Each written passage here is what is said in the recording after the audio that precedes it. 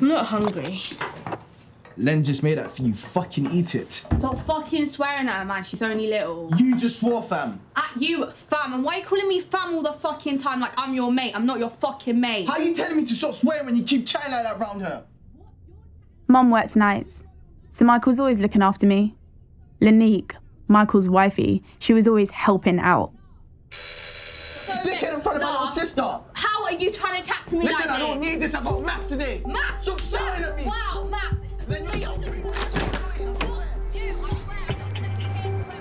forever. You right? Where's Mike? He was so fucking buff. What? Go on, fatty. Do you say? You say? Huh?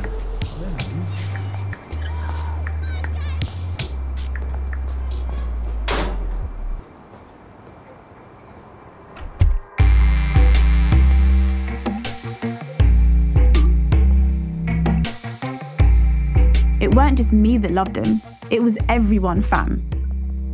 They were like kings.